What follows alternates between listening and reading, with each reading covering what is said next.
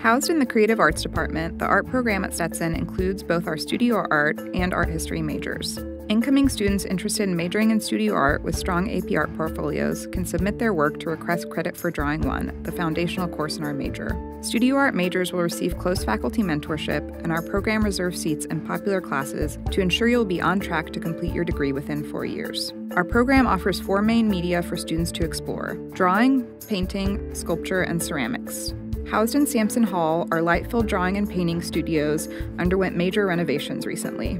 Our 3D facilities include a sculpture studio with an on site woodshop and a ceramic studio with numerous kilns and other equipment. Advanced students and senior majors receive semi private studio space to pursue their work. The Studio Art program prepares students to be active participants in the contemporary art world, emphasizing interdisciplinary thinking and experimental practice. Outside of the classroom, our students have the opportunity to exhibit their work at the Hand Art Center, Stetson's on campus museum space.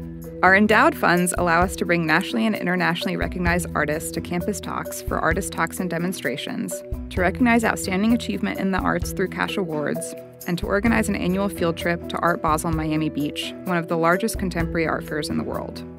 Collaborative and interdisciplinary, our art history program provides foundation and specialized training in a variety of areas, including museum and curatorial studies, and prepares our students for a wide range of educational paths and careers.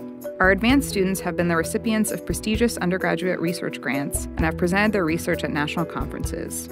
We also provide and encourage opportunities for building skill sets outside the classroom. Many of our students receive professional training at the Hand Art Center or the Gillespie Museum, gaining hands on experience in multiple areas of museum work. Our training has enabled many art history graduates to pursue careers in museums and to obtain advanced degrees in nationally recognized programs. We look forward to seeing you at Stetson and hope you'll reach out to our department with any questions you may have about our art programs.